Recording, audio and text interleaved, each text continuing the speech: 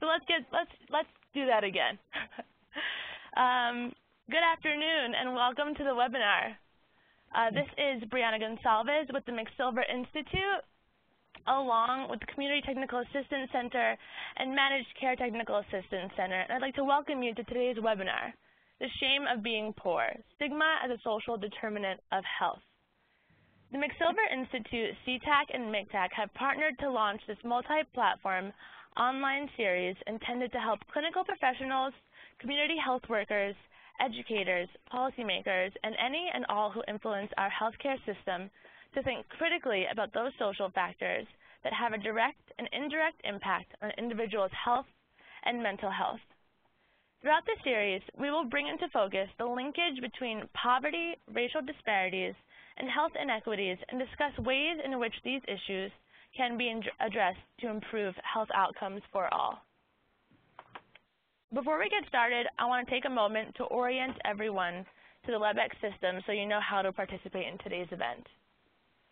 Please note that upon joining the webinar, you have been placed on mute to avoid any background noises, noises that may distract others from listening to the presentation today. If you come across any technical issues during today's event, please chat to the host, who will be able to assist you. You will have the opportunity to submit questions for the Q&A portion of today's presentation by utilizing the chat box feature, which is located on the right-hand side of your screen. If it is not visible, click the dialog bubble at the top right toolbar and it should appear.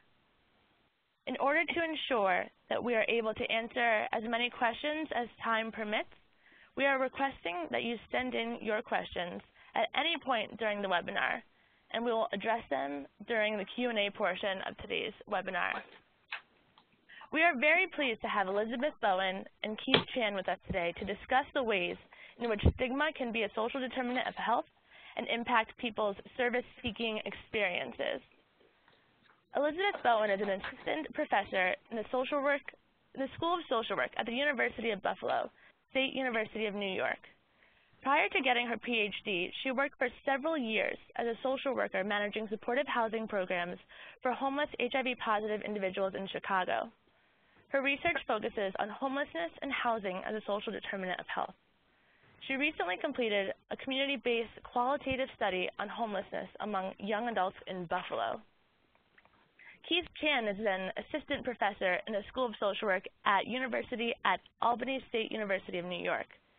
His research is on health disparities for Asian elderly and other vulnerable populations. He has almost 15 years of direct practice experience with minority and immigrant populations, persons diagnosed with serious mental health illness, veterans, the elderly, and homeless populations. He is currently working with Food Not Bombs, a grassroots community activist organization which supports social justice action and offers free vegan meals and free produce every week to the community. Elizabeth and Keith have a wealth of knowledge and experience, and we look forward to today's presentation. Again, everyone, I apologize for that delay at the beginning, but now I'd like to turn it over to Keith and Elizabeth to get us started.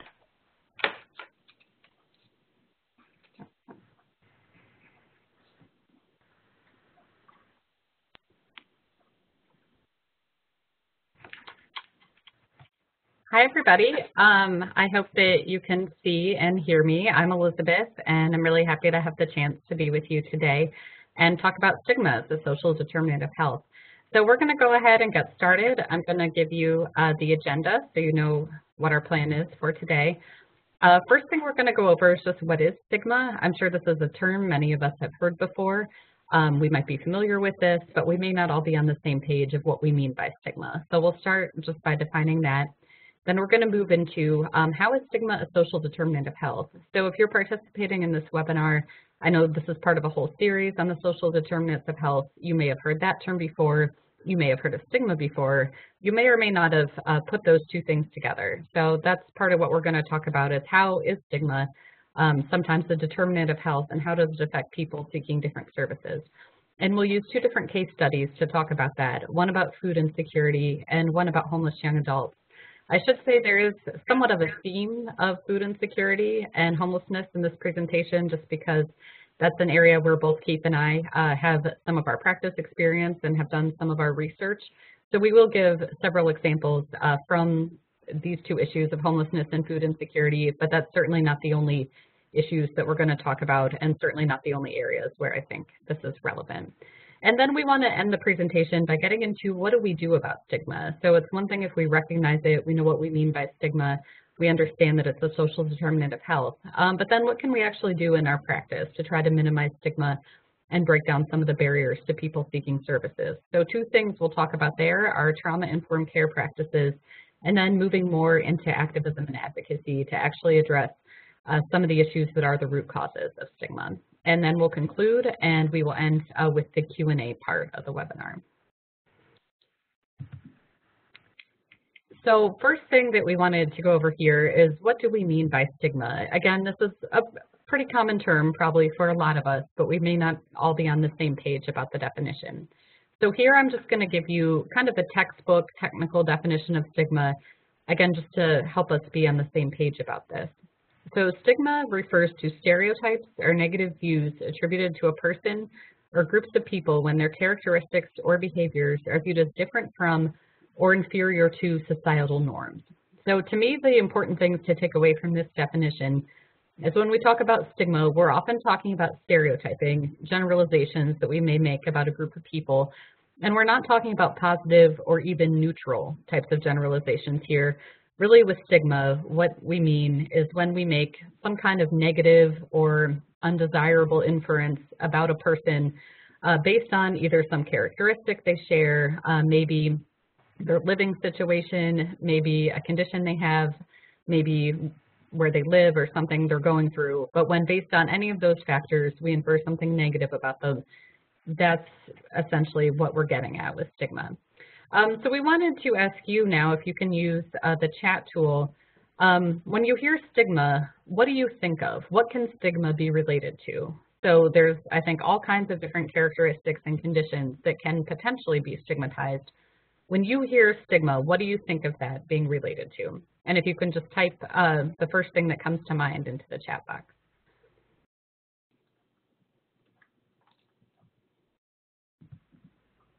I'll give people a, a few uh, seconds at least to think about that.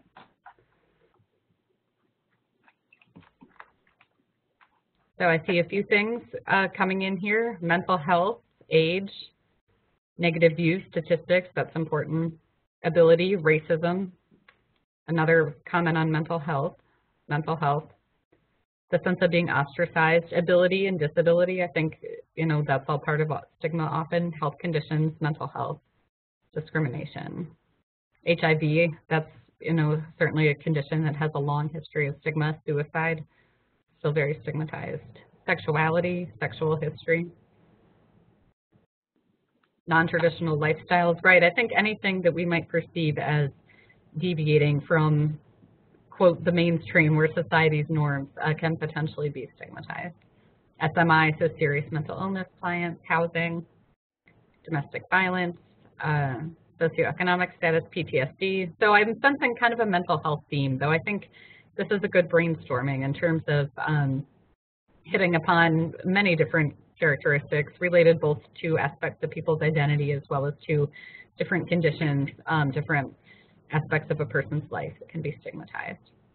Um, well, I'm going to uh, pass this uh, now to Keith, uh, who's going to ask you another question about stigma.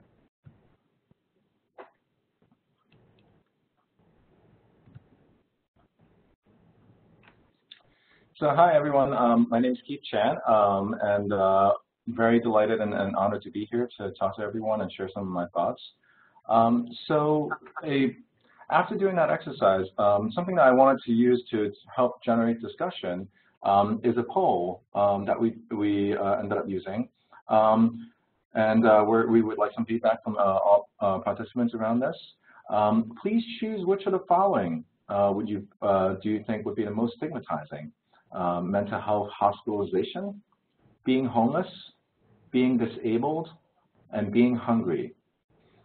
Now, bearing in mind, this is not an exhaustive list, but um, because of the fact that we're um, doing a presentation on homelessness and also uh, uh, um, some of the issues that we're talking about today, um, these are ones that just came to mind um, as what we would um, include. So please answer this um, right now if you can.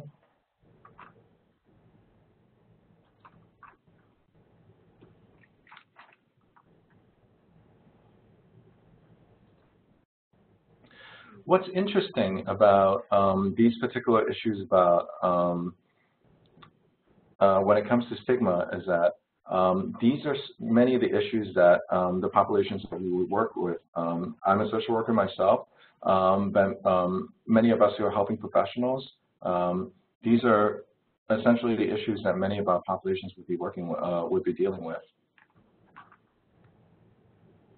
Mm -hmm.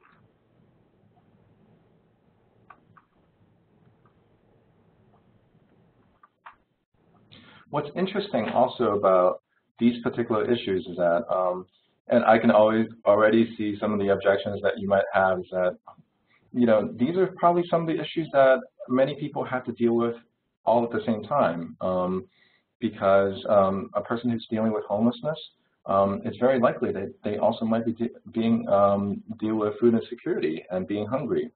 Um, oftentimes, if we're working with uh, a population with serious mental illness, um, these are some of the same issues that um, they also might be facing as well.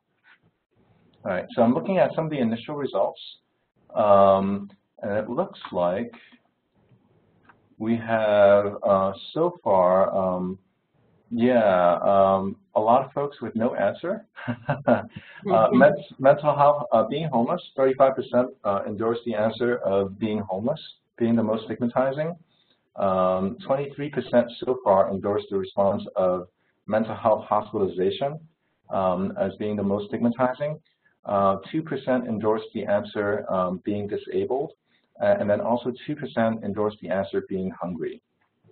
So um, part of what is interesting about um, the work that we do as social workers or helping professionals, clinicians, people who work with vulnerable populations is that uh, we're taught in school, and this is as a as an instructor, I teach my students that um, we have to clearly examine um, these subjective experiences, um, and we're taught actually not to rank them for ourselves. But um, in my experience working as a social worker, when um, I was dealing with um, a population of, folks who had serious mental illness, we had limited housing spots. So we had to decide who actually gets to move in um, to this public housing uh, um, facility and who doesn't. So in many regards, we're forced to make those decisions um, every day as professionals. Um, and also the framework of how we examine poverty. Um, it's really based on a means-tested system where um, unfortunately we uh, it's based on this understanding of who are the deserving poor. so I raise this as a question um, also for us to start thinking about um, what exactly is stigma and how do we actually even evaluate it. So I'm sure maybe, maybe many, many of you uh, have thoughts about this, so feel free to chat in at this point. So, and, we'll be looking at the chat list. Um, so I wanted to also go over um, why stigma is a social determinant of health. Um, first, um, a lot of the literature that looks at social determinants of health um, draws its theory base from, uh, at least in some of the work that I've done, um, from the theory of fundamental causes. Uh, what this theory says is that there are enduring association uh, of mortality and socioeconomic status. And a lot of it comes from an, an array of resources such as money, knowledge, prestige, power, and beneficial social conditions. What's interesting is that some of the research that uh, has been done on this uh, has found that the stigma of homelessness is, uh, the, this label is equal to a mental health uh, hospitalization. Part of it is because folks are being blamed for the hardships of, the, of their conditions. Um, food insecurity is also a very uh, uh, interesting issue. It disproportionately impacts the most vulnerable populations, unsurprisingly, such as children and youth, seniors, immigrants, and other health disparities populations. Also, the stigma of food insecurity can prevent persons from seeking out resources, meaning that despite the fact that there are resources available, oftentimes they don't seek them out, and that's really the problem sometimes is that um, our inability to connect the dots for some of these folks who are the most vulnerable. So uh, we have a case study that uh, I would like for um, um, participants to respond to, that we would like for participants to respond to. Um, so let me read this to everyone. Um, a young African-American male who attends college um, fails out because he cannot connect to his professors and peers. He loses his campus housing and meal plan. His family does not know that he is no longer in school, um, but they would have limited resources to help him. He works part-time jobs at gas stations, warehouses, and washes dishes at restaurants. And unfortunately, he does not earn enough and begins to go hungry. What would you recommend as a professional working with this young man? So maybe we can take a few moments right now um, for, uh, uh, for us to start chatting in some of our answers.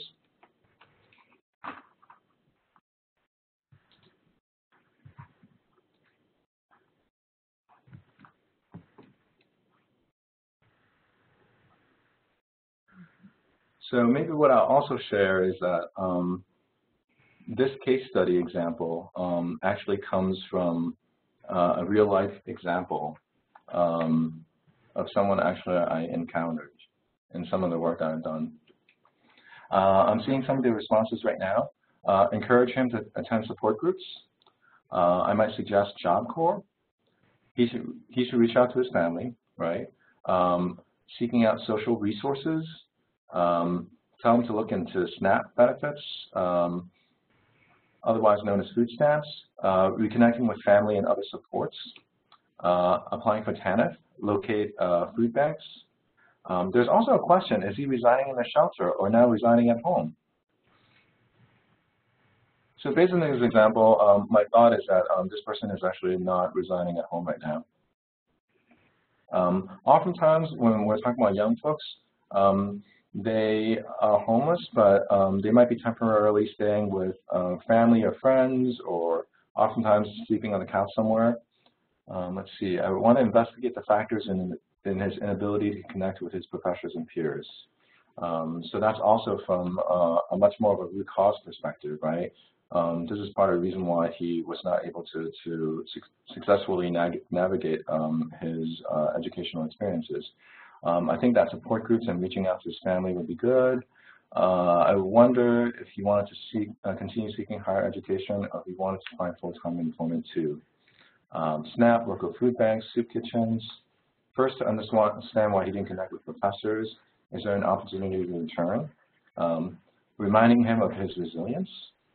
Focus on hierarchy of needs. They need to focus on resources before mental health can be main focus um, go back to school and talk to an advisor, connecting him with food banks to meet with his immediate needs, and reach out to resources at college.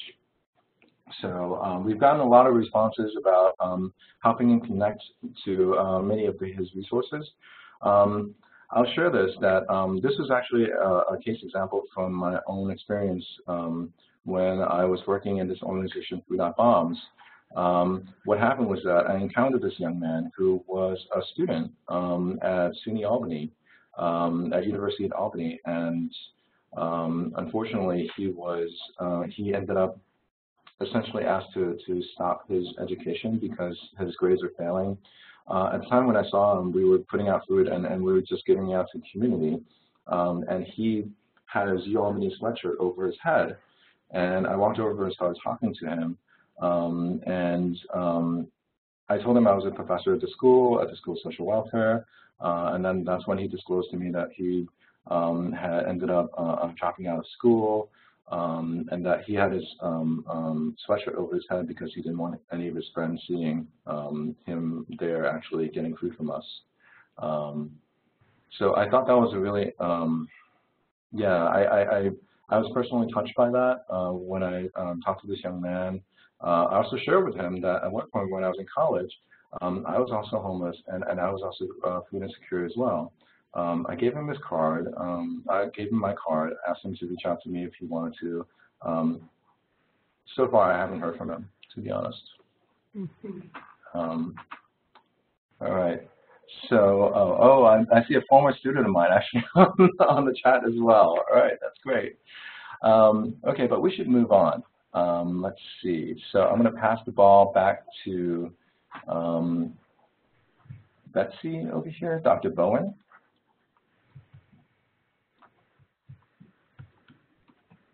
All right. Looks like I, okay, it's back to me.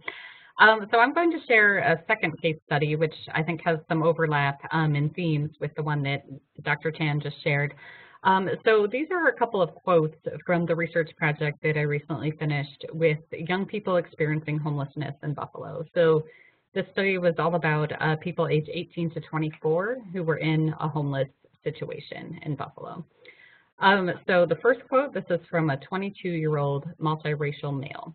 And he said, I don't like being 22 years of age, homeless, out on the street. I don't like people looking down on me or on some of my friends because no one really knows how a situation is until you're in it. So that's the first quote. Uh, second quote, this is from a 22-year-old African-American female.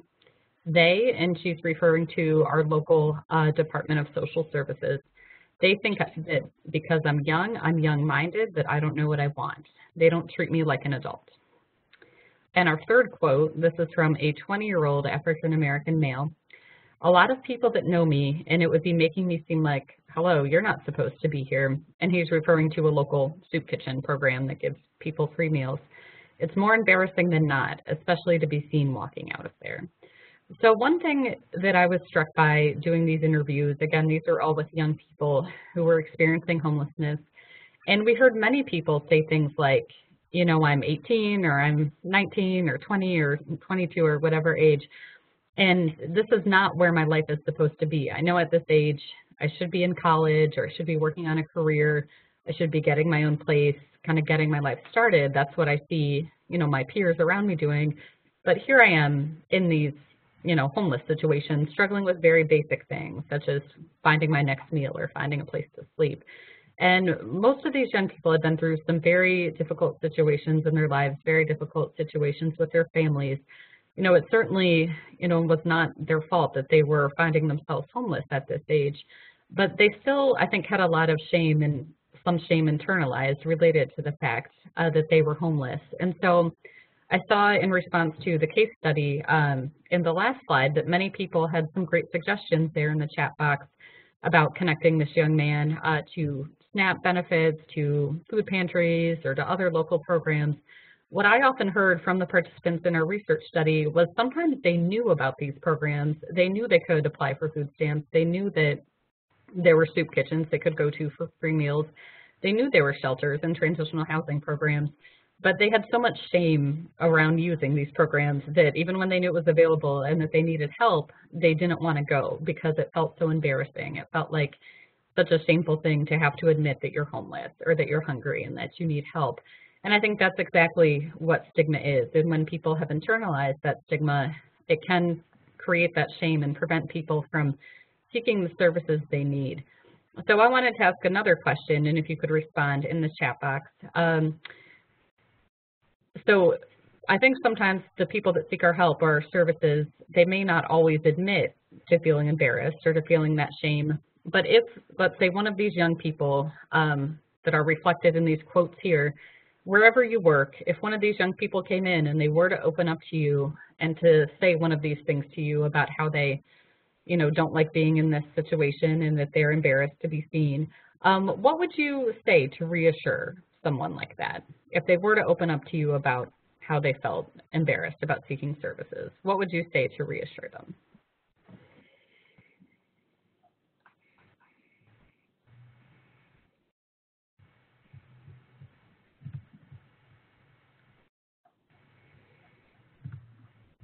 And I'll give people a few moments here to think about how to respond. Yeah, there's some good responses. Anyone would feel that way, that you haven't done anything wrong, right? To remind people this isn't their fault. Sometimes we can empathize with our clients and say, really, you know, I've been there myself, and I think Dr. Chan's story spoke to that. Mm -hmm. You know, reminding people we all need help sometimes. It could be any of us. Yeah, I think I like the strength-based response here that uh, someone has suggested. saying, I think it shows an incredible amount of strength to reach out for help when you need it. And that's something, you know, we need to remember as service providers, just to walk through our doors. We may not think anything of it, but sometimes that alone takes a lot of courage just because of the level of stigma um, around seeking help and around some of the issues that we work with. Yeah, a lot of these responses that I'm seeing, I think, really speak to empathy and the need to empathize with people and remind our participants that they're not alone in their struggles mm -hmm.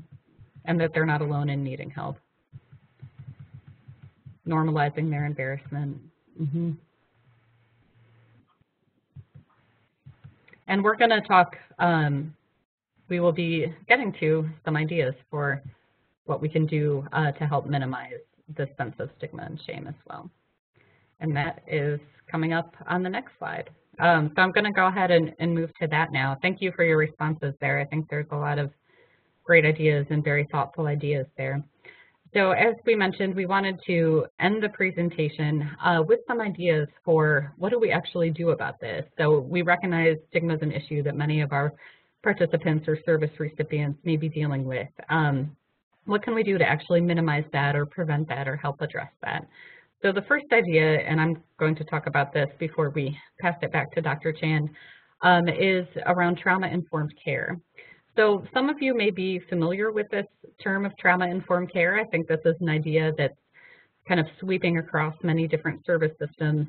And this is related to all the research that we have now on trauma that shows, for one thing, just how common trauma is. Many people have been through something traumatic and trauma is a pretty broad term. It generally refers to a situation where something happens to someone that produces some intense fear and distress and often has long-term either psychological or physiological or both uh, consequences. And so we know that many people we work with in any setting, whether it's mental health, primary health care, social services, homeless services, addictions, behavioral health, whatever it may be, we know a lot of our clients have been through trauma, sometimes multiple trauma. It could be different types of abuse or neglect. It could be assault. It could be the trauma of being incarcerated. Um, there's, you know, really countless examples. And so the trauma-informed care model helps us shift from this mentality of what is wrong with you to what have you been through. And we also know in many settings, the people we work with are not necessarily easy to work with. So we might see from our clients behaviors that look like acting up. We might see people that are really rude to us or are resistant to our help, um, people that are not cooperative, people that act, you know, um, in an aggressive way, or people that maybe just make it difficult to work with because they don't want to tell us anything about themselves or they don't want to reveal any information. And so a trauma-informed care mindset, instead of just being frustrated and thinking, you know, what's wrong with this person? Why are they acting in this way? It helps us shift to what has this person been through and maybe how have their experiences and their traumas affected how they might behave or how they might act or feel when they walk through our doors. And then how can we respond to them in a way um, that respects the fact that they may have been through trauma and make sure that we try not to re-traumatize them through the services that we provide when we're trying to help. And I think this is important, not just mental health care, um, but I heard from the participants that I interviewed in my study of homeless young adults they often talked about the difficulty they had, not just speaking, some of them did want mental health counseling, but they would talk about when they were just trying to apply for social services or apply for benefits. You know, often they felt they were not treated with respect. Um, and I think using some of these basic principles of trauma-informed care could help to overcome uh, the barriers in that sense of disrespect that people sometimes feel. So the principles of trauma-informed care, there is a lot of different um, information and literature out there on this, but these are the six basic principles, uh, which are safety, trustworthiness and transparency, collaboration and peer support, choice, empowerment, and intersectionality. And that last one, intersectionality, that refers to the fact that all of our identities are made up of many different parts, so including our racial and ethnic identity, our gender identity, our sexual identity, um, our immigrant status, the language we use, our religious identity, I mean, countless different facets to our identities. And intersectionality means that in our services, we should really not just be tolerant, but respect and affirm all of those different aspects of a person's identity. So whatever setting you work in, you can probably maybe think of some of the ways that maybe your agency employs some of these principles. So what kind of practices do we have at our agencies? What things do we do to help our clients or our participants feel safe? For trustworthiness and transparency, this has to do with um, you know, how clear are the guidelines for seeking services? So whatever type of benefit or service we provide, what are the eligibility cr criteria for that? When participants come into our program, what exactly are they signing up for? What are they expected to comply with? How transparent are we about that? We may assume that this is clear, but unless we walk people through that and have a conversation around it, it really might not be that clear to people. And when we can be transparent about our procedures, about our what kinds of support we can provide, about the conditions of that support, that can really help uh, to build trust with people. Uh, similarly, collaboration and peer support. I know some programs, different settings, may be more expert-driven, where we have to, you know, say I'm your healthcare provider or your service provider, and I have the knowledge, and I'm going to give that to you. And there may be a time and a place where we need that. But I think a lot of programs we can also use peer support. So how can we help people who are going through the same things support each other? How can clients be active collaborators and be actual contributors and partners and not just service recipients? Uh, choice, what choices do we give clients in the programs we offer? Um, are there ways maybe we can maximize those choices? And these principles, as you can probably see, are interrelated. So empowerment, when we give people choices and they have the chance to make meaningful choices, that can be empowered. When people have the chance to be a service partner, when they have the chance to um, not just receive services, but help their peers and participate in peer support, all of that can be empowering. And then lastly, intersectionality, again, making sure we do all of these things in a way that feels affirming to people's identities. So these principles, um, I think they, they sound good. They're not always easy to implement um, in practice, and I don't know of any program that does this perfectly and implements these all the time. But if you can maybe think about where you work, think about the ways that your program or your agency does implement these principles. And then maybe just one thing you may be able to take away from this is start to think about what are some of the ways you could do to implement them even more or to do a, a better or a more, more robust job of maximizing choice, promoting peer support, making things transparent, promoting safety, empowerment and intersectionality. And I think that could go a long way toward helping people feel comfortable um, given all the internalized stigma and shame that people may have uh, when they come in to seek our services. And with that, I'm going to pass it back to Keith, who's going to talk through uh, some other ideas for reducing stigma, uh, more from an action and an advocacy mindset.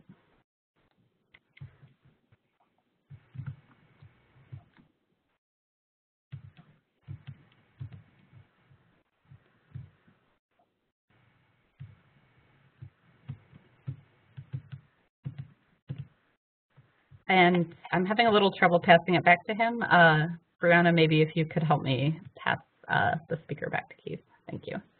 Okay, great. Thank you very much, uh, Betsy. So, um, so some action steps that we, um, and um, I, say this too because I feel that um, um, coming coming to to you guys as a social worker, um, I feel that our charge and our mission is really working with the most vulnerable um, and the least advantaged populations. Um, and I think there's a lot of folks right now who are very disenchanted and disaffected. Um, and a lot of it has to do with our political climate and what's been going on in the last week. Um, but I believe the solution is really community. Um, part of what we can do is directly engage with the community especially these vulnerable populations, because uh, no matter what you believe in terms of uh, uh, who our leadership should be uh, for our country, um, I think there's a real need right now for those people who are the most marginalized. And those are the folks um, who really need our help the most, and to also look at how we can ta tackle specific issues. Um, not who voted for who, but what can we actually concretely do to improve conditions for people who are the most vulnerable? I think part of that has to do with also re-examining the medical model approach. Um, we have to ch challenge our paradigms um, of how we think, um, uh, what we think about power and privilege. Um, part of the task that we have to engage in is to break down barriers of poverty. Um, as professionals working with these vulnerable populations, we, we do have to acknowledge that we have a very professional stance um, and that we hold more privilege and more power. But at the same time, there are ways that we can actually engage um, our populations as uh, collaborators, as what Betsy was pointing out to, um, not just in terms of the decisions that they make for themselves, but also in, in engaging in activism to directly address these social problems. Um, whether it's making sure that um, the roads are more safe uh, for people with disability um, by, make, by showing up and just speaking to it and um, supporting causes so that uh, they can paint some yellow lines right on the sidewalks that people it's safer for people to walk. Um, or looking at how we can more actively address food insecurity or other issues of poverty. Um, and then also being partners with them, um, with these folks um, in, in, advocating for themselves and for others. Um, so um, what I would like to show everyone right now um, would be a video from uh, Food Not Bombs, an organization that I'm involved with. Uh, what we do is we take um, donations from supermarkets, from uh, community gardens. Uh, everything's volunteer driven. Um, we have folks who come and get food with us. Um, I actually eat at the meals every Monday, um, and it's awesome food. Um, we make vegan meals, um, and we also pass out food, uh, uh, uh, free produce, um, oftentimes to uh, urban areas where there are food deserts. Um, and it's really interesting because many of the folks who come in to, to get food from us, we don't ask for identification. Um, we try to get folks to actually help out, be part of the community. We try to watch out for each other. We have folks who are African Americans, who are in wheelchairs, who are older.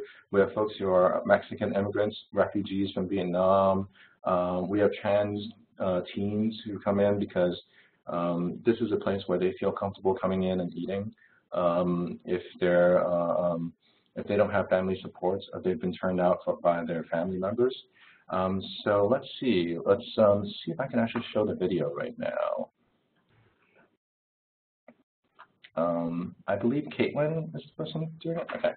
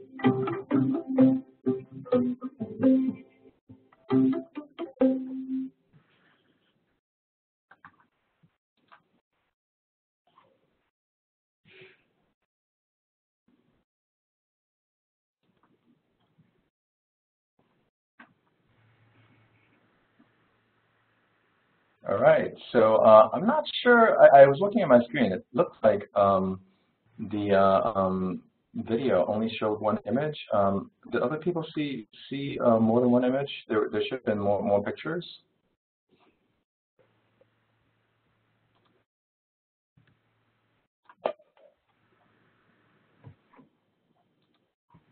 Oh, okay, all right. So it seems like everybody saw many different images. Okay, so this is my computer. Um, okay, so um, that's Food Not Bombs. So as you can see, um, we have folks from who, who have very diverse backgrounds. Um, people come to us from uh, many different places, but um, we try to really have a sense of community. And um, actually last week uh, we had the uh, older African American uh, uh, woman who was in a wheelchair um, she asked, invited all of us to come and help support um, a, a, community meeting so that they can make roads safer. Because um, when she was getting off the bus, um, I don't know, last October, she had fallen from her wheelchair, and then as a consequence, um, she had to have her toe amputated. Um, so she wasn't looking for compensation. She just wants to make things safer for everyone. So I think that's the kind of thing that we need to do. Um, so that we can actually empower people and, and also have them be active partners in, in some of these things that, that can improve uh, condition, conditions for everyone. Um, I believe that's part of the solution in addressing stigma for the populations that we work with. So with that, um, let's see. Um, here our set of resources. Uh, I'm going to pass the ball then, I guess, back to Brianna, who's going to be doing the Q&A sessions for us, uh, or we're going to start um, with the Q&A sessions um, in case there are any questions. Yes, thank you so much, Keith and Betsy, for that presentation. Um, we have received a couple questions that come that have come through. Um, please feel free, everybody, to submit additional questions in the chat box. Um, I'll be collecting them and posing them to our presenters today. Um, so the first question I have is, from an overall societal perspective, do you think there is a continuum of stigma? Some conditions are more stigmatizing than others, and over time, some conditions may become more or less stigmatizing. For example, AIDS has had a greater stigma in the 1980s than it does now. Also, what about a condition being stigmatized in one culture but not stigmatized in another culture? For example, certain dress codes are acceptable in one place but not in another.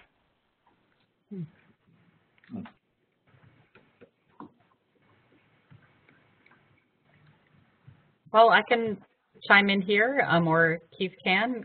Every, can everyone hear me?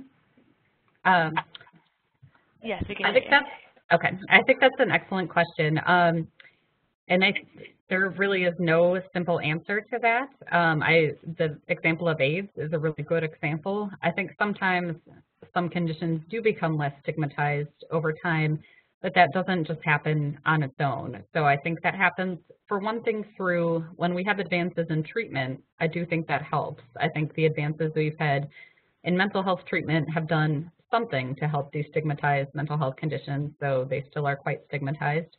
Um, I think that, you know, the advances we had with HIV and AIDS, with treatment there, again, somewhat helped to destigmatize that condition.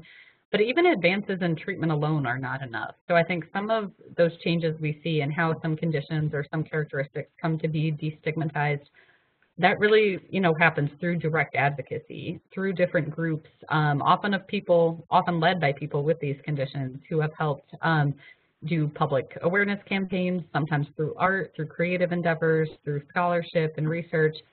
I mean, I think stigma is definitely not static and it does change over time. So to get to the part of the question about, you know, could we have a continuum of stigma of most to least stigmatized? I don't know if anyone's done research on that, but I think it'd be hard to have consensus on it um, because, again, it is somewhat subjective. And I think the person who asked that question has a great point, too, about um, this is also not static between cultures. So from different, among people of different ages, among people from different cultural backgrounds, even geographically, something that's you know acceptable and maybe common or even celebrated, say in New York City, you know, may not be viewed the same in a small town in, say, rural New York. Um, so we can see a lot of variability across groups and across place.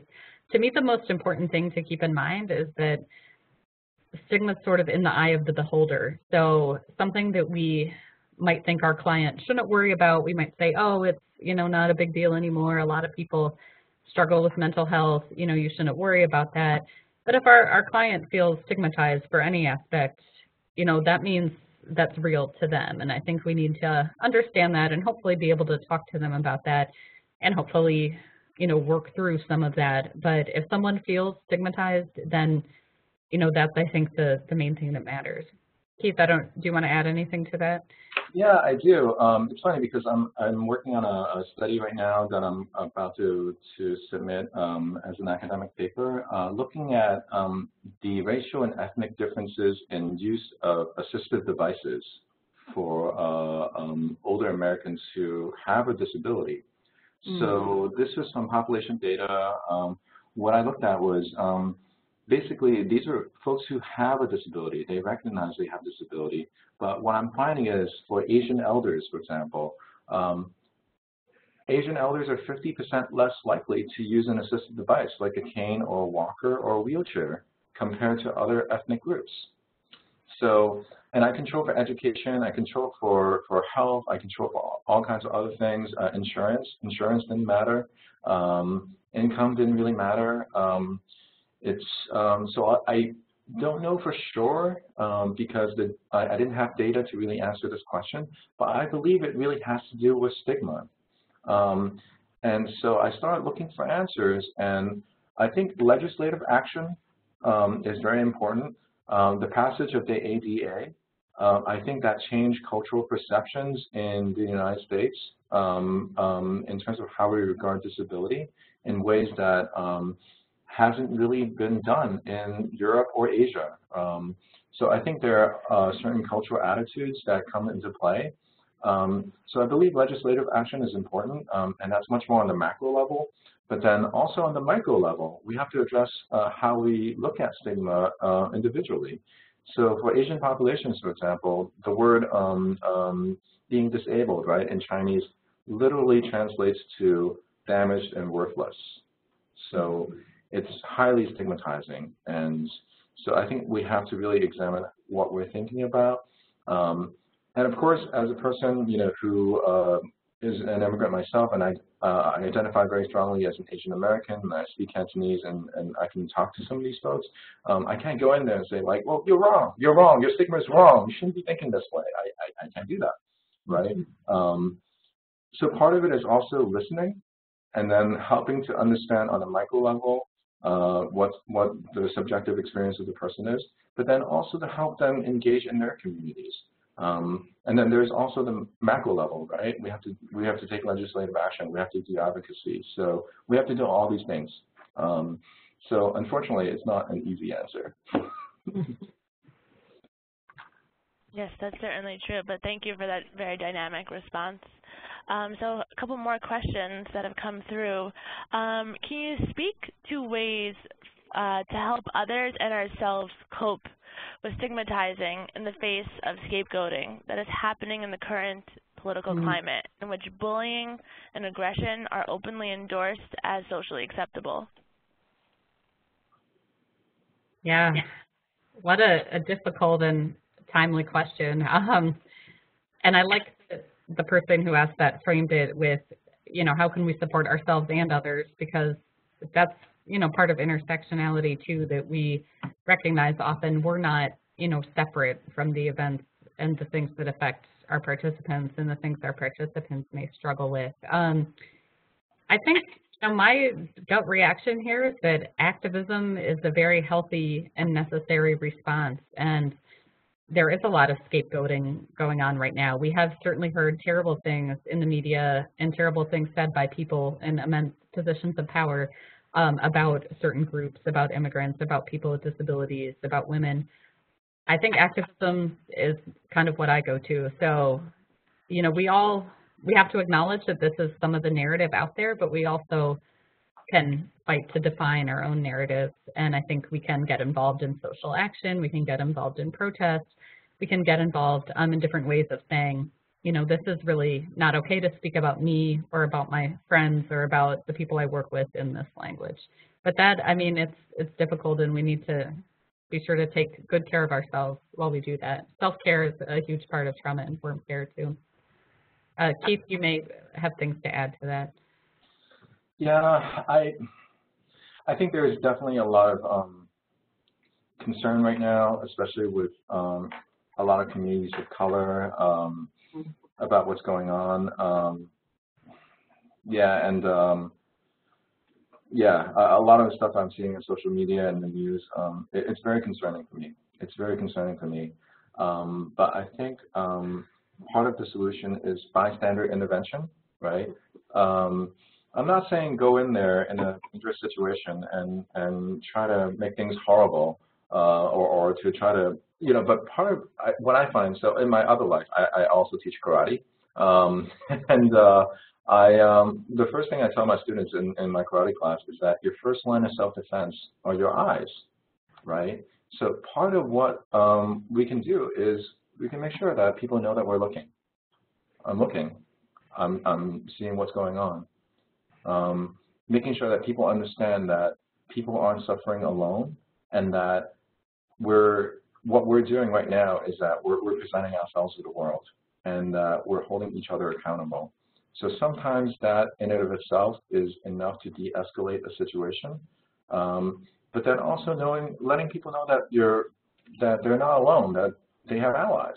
So I think there are different ways that we can address this issue. So um, that's what I would offer.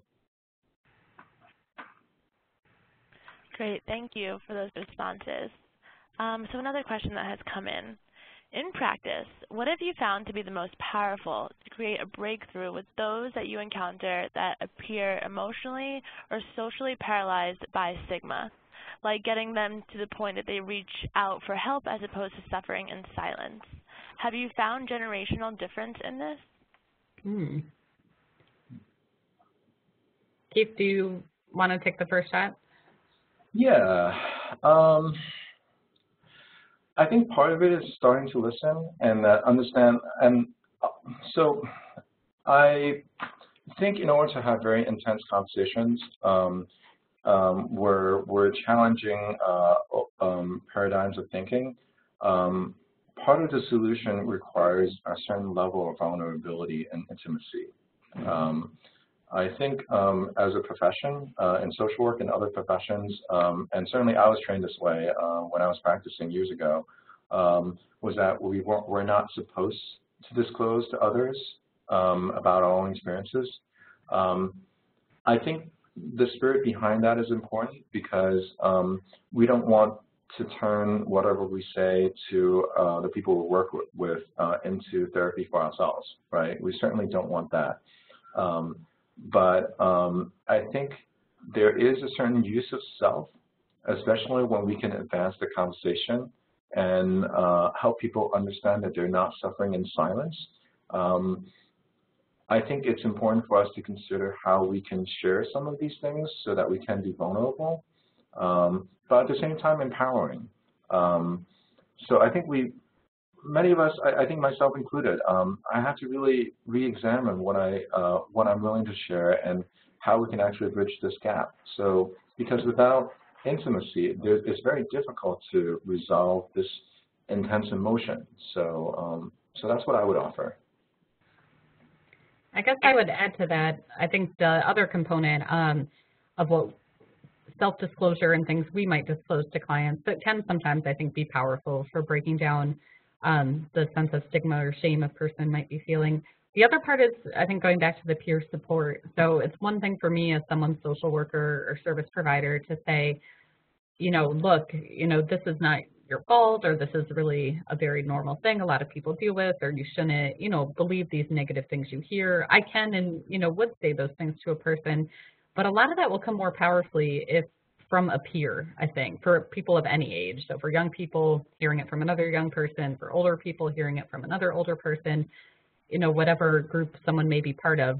So that's difficult because I think stigma isolates people is the other part of it too. It makes people not want to connect with their peers sometimes. But I think if in our programming we can try to even just have informal spaces where people that are coming in can talk to each other and can start to build relationships. Maybe this happens through group work sometimes.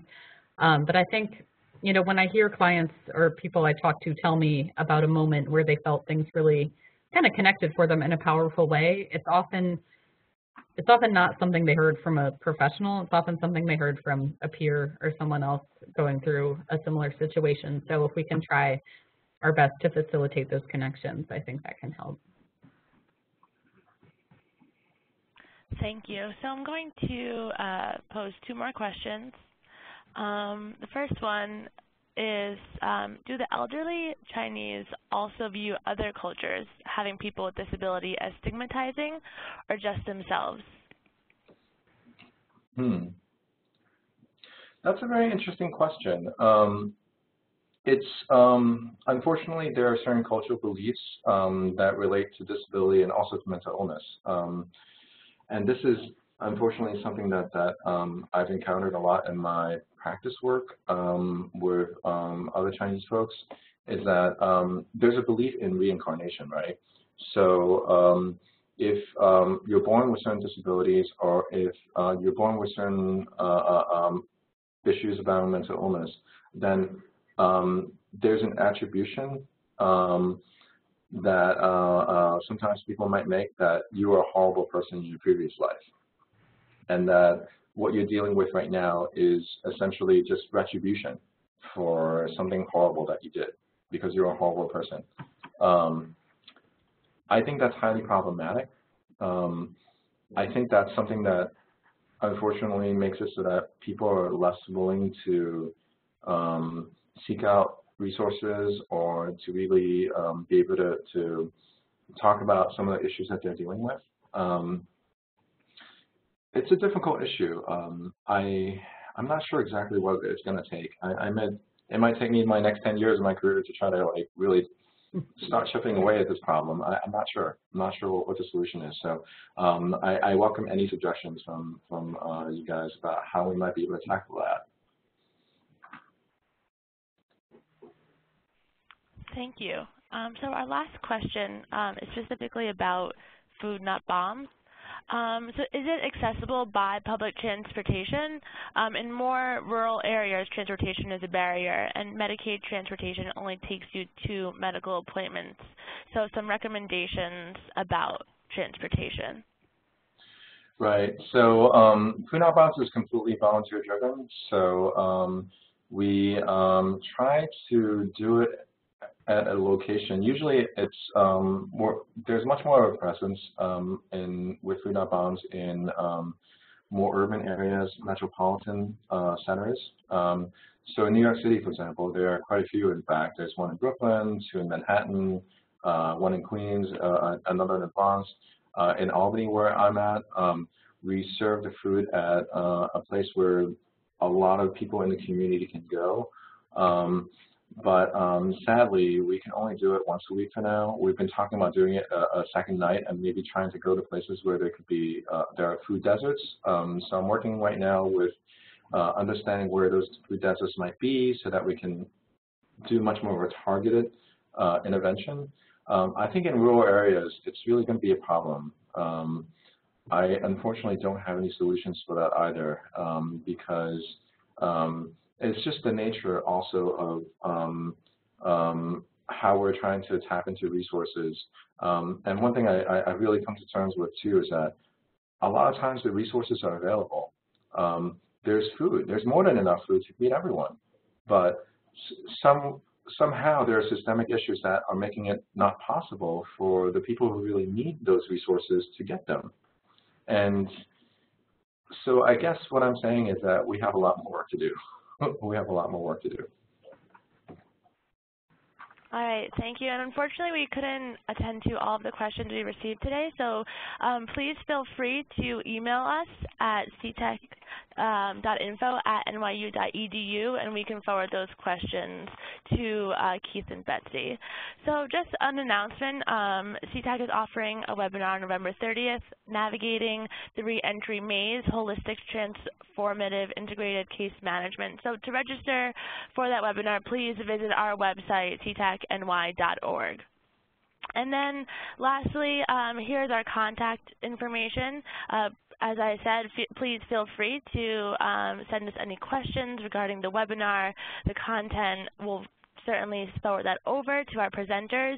And um, all of the webinar materials, including the recording and slides, will be made available on our website as well for everybody to access. And I want to thank everybody, especially Elizabeth and Keith, for attending today's webinar. Um, once you leave today's webinar, you'll receive a survey on the presentation, and we would really appreciate it if you could take a moment to provide your feedback.